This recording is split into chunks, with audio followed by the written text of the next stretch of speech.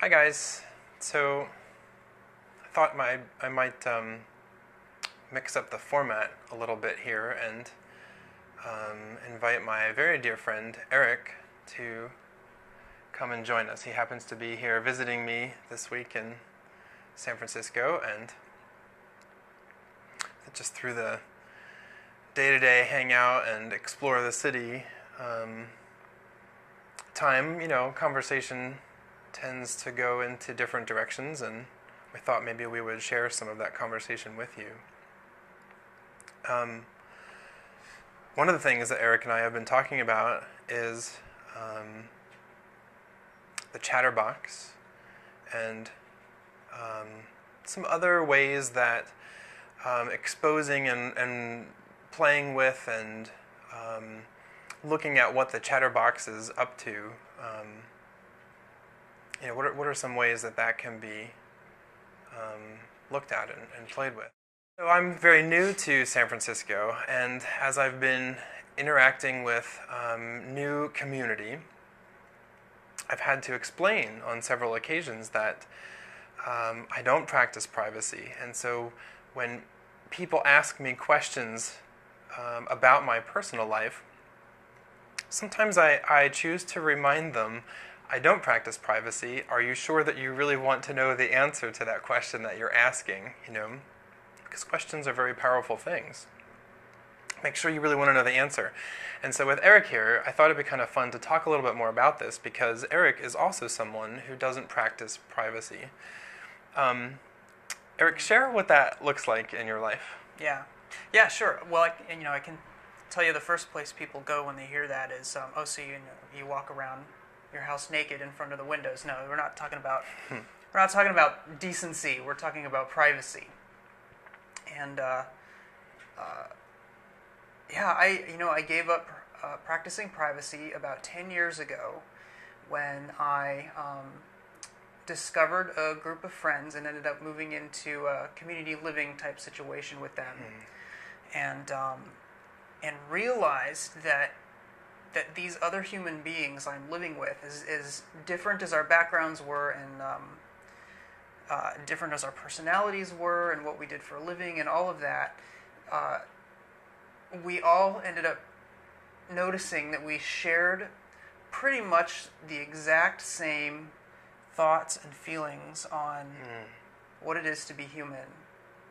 And uh, and I'm not talking about like we didn't share the same religion or, or the same philosophies or anything like that. That was more of what made us different from each other. But it was, um, you know, the human concerns that drive our lives were the same for everybody, and uh, and we noticed that keeping those kind of hidden into our ch- cells, you know, and holding them close, mm-hmm. um, it was sort of ridiculous because that was literally like putting up a door and a wall saying, I'm willing to talk to you about anything, to go anywhere with you, except for these certain things. Mm. Right? And, and so these certain things, I'm guessing, are along the lines of um, we all need to eat, we all need to poop, we all need to mm-hmm. pay our rent. Yeah. Yeah, basic right. human experience uh-huh. you know, fundamentals. stuff that you know you you hear things like um, oh, it's none of your business how much money that person makes yep. at their job, or right. um, you know, it's none of your business whether their relationship is working or not. And you know, um, you ended up moving into this community mm-hmm. with me later, and uh, there were couples at this community, and uh, you know, the standard operating procedure for people, especially in this culture, would be you know, don't inquire about the relationship, don't you know, mm-hmm. tread on any toes or you know, ask about anybody's business. Uh, but it, it turns out that, that that just puts walls up uh, in front of areas that we may actually be able to make a difference, or that we could even celebrate with somebody. Sure. You know, if I know more about what's going on with you, then you know I can celebrate your successes and joys sure. and that sort of thing as well as assist if something's going wrong. So it, it just occurred to me very quickly that there really is no area that I had or any of these people had, and, and I assumed all human beings, that needed to be necessarily off limits and that there was really anything mm-hmm. to gain by putting them off limits. Mm. That, that's the point right there. By putting them off limits, there's nothing to gain. So uh, this practice specifically attacks um, the chatterbox right at its core, right? So imagine um, by not practicing privacy, you're not allowing the chatterbox to really maintain that sense of control and, and to be there in the forefront of your daily experience. So an example of that would be, um, uh, you know, how's how's that person's relationship going? And maybe they're in the middle of some very uh, intimate um, debate or turmoil within their relationship. And by not practicing privacy and you asking them that question, how is your relationship going? It might take them a minute to build the courage to actually share with you what's going on. Um, you know, behind closed, what, what would normally be considered closed doors. But what that provides is that the chatterbox is no longer able to um, maintain a sense of identity, and maintain a sense of, uh, again, this control or being in the forefront of our experience. Um, and that's a very scary place, very vulnerable place to be. Um, but it's it's very powerful, and it and uh, really again attacks that chatterbox right at its at its core. You'll you'll find I, I found that this that the chatterbox, the sort of runaway chatterbox, is what Mm-hmm. we're talking about.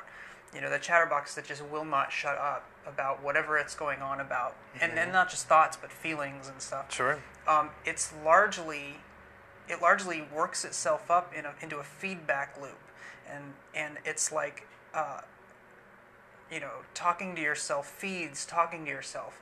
And when you when you open the end of that loop and start talking to others and communicating with others and getting communication from them, it sort of opens up that feedback and you don't you don't get stuck with that Sure. constant, you know, chatterbox that talks about the same thing over and over. You're now in conversation with someone else and it can it can move forward and and transform and empty itself and you know, it just it just has has a reason to shut up. Yeah, it, it starts to run out of uh, fuel. Yeah. right. Yeah, right. I mean, so these these um, these thought patterns, the the, the repetitiveness. Um, is, is really what's kind of keeping the chatterbox going. And if all of a sudden that repetitiveness is being revealed, right, then then there's no more energy there to kind of keep it going. You know, it's gotta it's gotta be creative and find something else, which is ultimately what happens. But um, in a different vein. We'll, we'll talk more about that. So um, take a look and see where in your life um, could you possibly open up the doors and stop um, hiding the the the contents of your chatterbox and start to share that with others. You know, maybe um, I would invite you to take on um, not practicing privacy in your life and see see how that goes. Even if it's just for a day, just for a day. If anybody asks you anything, give them the most honest um, answer that you can surmise, and see see what happens. No matter how vulnerable that makes you feel, no matter how scary that may seem to you. Yeah, and you know, you'll find, I think, that some of the most fun things to reveal are the best things. Like you just want to express to somebody how much you love them and how important they are to you. Stuff that you know, it's like it's a coworker or something, and it's not a setting that you would normally think to do that. It's the best time to stop practicing private, to stop practicing privacy and um, make the leap into sharing what's actually there for you. So you know, I I, I don't think you're necessarily talking about. Um, you know, oh, I've got the worst headache ever today, and you just want to spread that around to everybody who will listen, right? Mm-hmm. Right, Yeah, right. not so much that, but but really, what is the what is the authentic communication there? I think is what you're saying. Mm-hmm. What is there really there for you to say to somebody? Absolutely. In in the context of um, they're asking a question.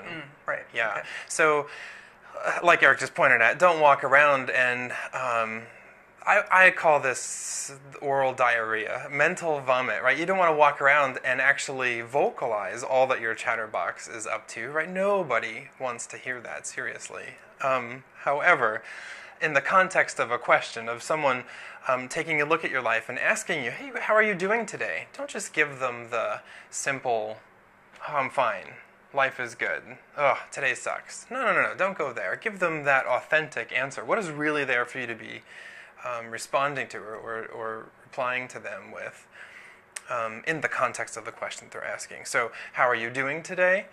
Oh, well, honestly, you know what? Today is kind of painful for me. I'm having some emotional turmoil. And even at the office, it's appropriate to say these things right now of course, there's laws and things you gotta watch your boundaries there, but see what comes up. See what comes up, and and um, even if it's just for a day, let us know in the in the comments.